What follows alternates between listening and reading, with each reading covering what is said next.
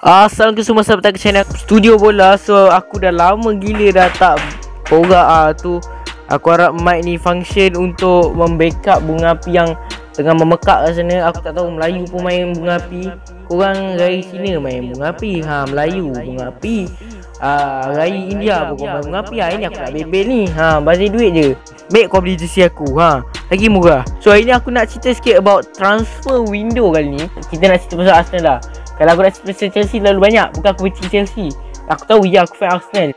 Tapi aku taklah benci Chelsea sebab dia beli main Sebab nanti kita akan buat Nanti kita akan buat jangan risau Hari ni aku nak borak sikit about Dua player yang setakat ni Arsenal beli. 21 Januari 2023 First kali kita mulakan dulu dengan the first player Which is Leandro Trossard. Leandro Trossard ni bagi aku Ini adalah backup plan Ataupun Plan B lah orang kata kan Di setelah uh, disailang. Uh, bukan kena uh, disailang awet tapi kena sailang dengan dengan Chelsea. Kalau fikir balik kan okey. Trossard harga dia is 21 million. Dia punya kontrak sampai 2026 Mula-mula dia orang Arsenal dengan Chelsea memang hangat gila bid 70 million, 80 million, 90 million for Arsenal. And then end up 100 million. And Arsenal macam Lepaskan je lah. Kalau nak compare lah Kita compare kejap dengan Trossard kau nak beli Trossard ataupun Modric the better is Trossard pendapat aku. Sebab Trossard ni kita tahu dia dah proven kat EPL dia main dengan Brighton dah. Dapat 7 gol. 3 assist. Which is bagi aku sebagai player yang player yang 27 tahun tu is bagi aku is quite good. Sebab dia taklah teruk sangat. Tapi taklah power kan tapi bagi aku dengan harga macam ni memang berbaloi daripada kau beli Mudrik 100 million yang tak proven lagi dia power ke tak?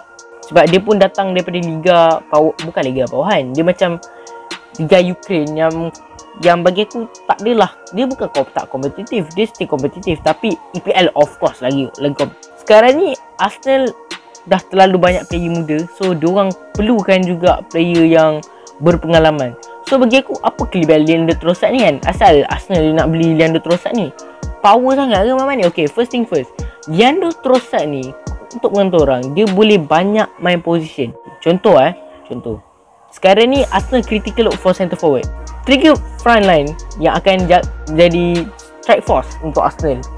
Saka di belakang kanan, belaki is Martinelli and depan is center forward is of course Leandro Trossard. Sebab dia boleh main center forward man. Center forward, right wing, left wing.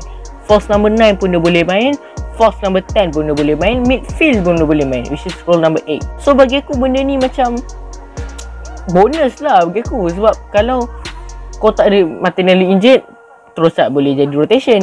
Saka injured Rotation dia Boleh bagi kat Trossard Okay faham tak? Okay kau akan ada NKTR Pakai je lah NKTR tu kan? Okay kau kena faham NKTR pun Dia okay Tapi Kau bayangkan tiba-tiba NKTR pun injured. Ha sudah macam mana? Ha kau tiba-tiba letak Martinelli ke center forward? Tak kepeliknya. Ha tak kepeliknya membernya. Ha susah renggang. Ha kang tahu-tahu kang. Ha tak menang ha kalah. Ha tak menang PL ha itu susah tu itu kita tak nak tu ha so aku pemilihan terosak ni memang cepat. Memang laju eh. Oi bau burak 2 3 jam terus kan. Here we go. Arsenal. So kalau tanya aku Ha, tak payahlah kalau korang sedia uh, terosat eh terosat pula mudrik tu kena rembat tak apa biar aje. Biar aje sabar hantai hantai. Kita terosat bro. Ha, dengan umur 27 pun bagi aku still fit. So, ini tak masalah. Bagi aku terosat is the good player.